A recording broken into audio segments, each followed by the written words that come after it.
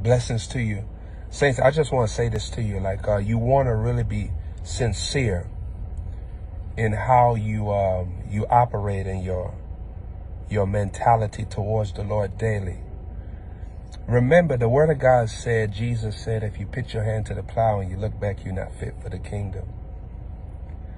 I was reading a story to Zendaya, Glory Holmes, one, one day. The story was when the Bible said that the man said, let me bury my family. And Jesus said, no, let the dead bury their own dead.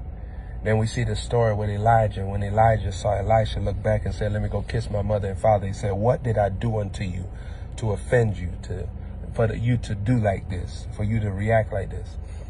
It shows you there's an urgency to the calling. When you have a calling from the Lord, handle it with the right spirit because the Lord is watching you.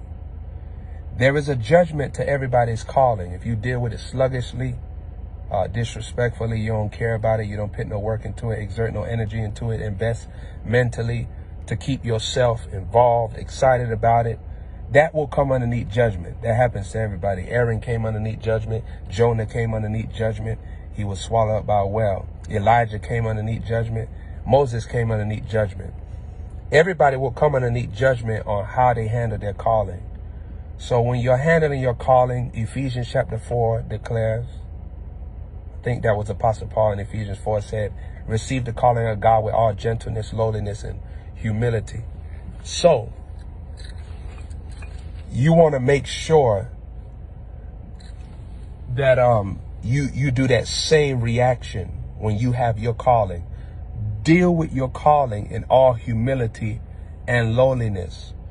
And do not take it for granted the fact that the Lord is giving you a chance to be a part of a mighty work that he wants to do through you, from you, in you. Let him do the work. Volunteer yourself. Do you know that some people get told by a doctor that they need surgery? And then there's other people that actually go to a surgeon be the one to go to the surgeon. Don't be the one that need the doctor to tell you that you need surgery. Be the one that goes to the doctor and say, hey, I'm coming for the surgery.